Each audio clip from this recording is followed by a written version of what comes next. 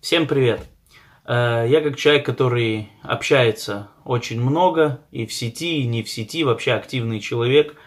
И в последнее время меня стало касаться политика, да, меня касается, я ее касаюсь. И, честно скажу, мне это в чем-то нравится, в чем-то не нравится. Но постоянно возникают вопросы. И вот один вопрос у меня сегодня прям возник в голове. И я хочу задать этот вопрос э, министру образования. Вот у нас люди могут голосовать с 18 лет. Да? Они учатся в школе, им исполняется. У нас, как вы понимаете, 18-летние люди еще учатся в школе. Да? 12 классов, грубо говоря, с 7 лет, 6 лет, 18 лет это еще школа. И они могут, имеют право голосовать. Э, за счет чего? Как они могут сделать свой выбор?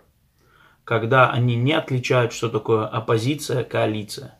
Они не отличают, что такое Дума, что такое Сейм. Они не, не знают, что такое мандат, депутат, министр, департаменты разные, да, то есть политического образования ноль, вообще нету. У нас есть в школе политическое образование, насколько я знаю, нету, да. За счет чего они должны голосовать? Это же тысячи людей, это тысячи голосов. За счет чего они могут голосовать, не имея своего мнения? Я просто хочу узнать этот вопрос.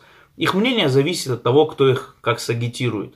А ведь мы знаем, что голосовать надо не по принуждению или по каким-то там советам, да, а ты должен сам проголосовать за кого ты хочешь. Как могут эти ребята молодые, 18-20 лет, голосовать за кого-то осознанно? Это сколько голосов? Сколько у нас в Латвии 18-летних, 18-21, скажем, сколько у нас таких людей? Считайте, что вот все эти голоса, я считаю, что они неосознанные. Да, они под влиянием и так далее. Я уже не говорю, что взрослые, да, тоже там много на кого можно повлиять. Но это уже, я считаю, какие-то их проблемы, что они там в 30 лет не смогли получить знаний, опыта жизненного. Да. Но 18-21, вы считаете, что это правильно? Э, учить в школах косинусы, синусы и там что угодно, и не учить таким вещам, важным вещам на сегодняшний день, как политика.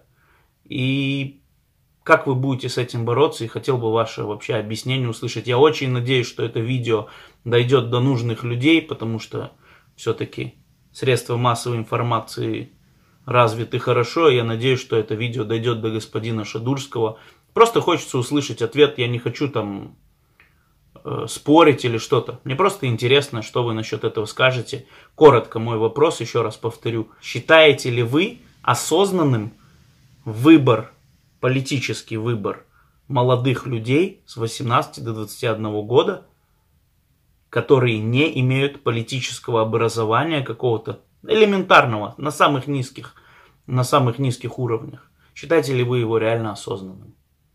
Э, спасибо за внимание, очень жду ответа.